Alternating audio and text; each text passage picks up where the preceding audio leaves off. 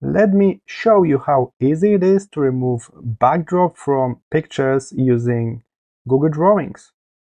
After you drag and drop your image inside your drawings document, simply click on the image and you should be able to see it straight away. There's a new feature here for removing backdrop. So click on it and now the program is processing your image. And here it is. It was qu quite fast, I would say. Keep in mind, it's still a new feature and it's maybe not enrolled in all regions. So if you see it missing, it's maybe simply because the Google didn't launch this new feature in your region just yet. But it's coming. It's already available in most regions and I hope it's in your region already.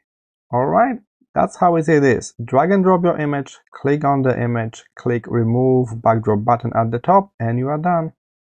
I hope this short tutorial was helpful and I will see you in the next one.